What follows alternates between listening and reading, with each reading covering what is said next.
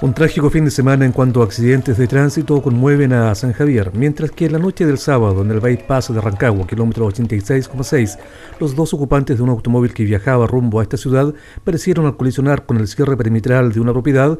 El domingo ocurrió un hecho similar en la calle Juntas Viejas de esta ciudad. El día domingo a las 19.45 horas recepcionamos un llamado por un accidente de tránsito que se había originado en calle Junta Vieja del Río, frente a la numeración 905.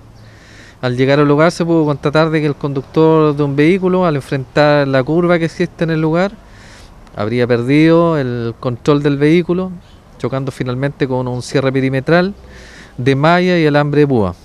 A raíz de eso, el conductor que iba con su vidrio abajo eh, se sobresalió en este caso desde la ventana y lamentablemente eh, uno de los alambres púas se incrustó en su cuello, lo que finalmente originó su fallecimiento en el mismo lugar. Tras la constatación del fallecimiento del conductor fue necesario activar los protocolos establecidos para este tipo de accidentes y poder establecer la mecánica de los hechos. en primera instancia se constituyó el cuadrante 1 y posteriormente con la instrucción impartida por la Fiscalía Local se dispuso la concurrencia de la CIA para poder establecer definitivamente cuáles fueron las causas del accidente y finalmente la concurrencia del Instituto Médico Legal para retirar el cuerpo.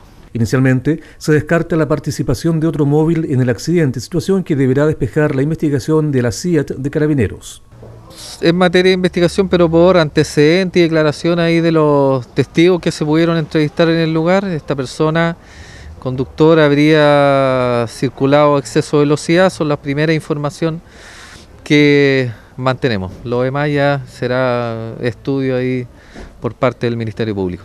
En distintos puntos del país, pero con idéntico resultado, dos accidentes de tránsito que terminaron con la vida de tres jóvenes sanjavirinos durante este fin de semana.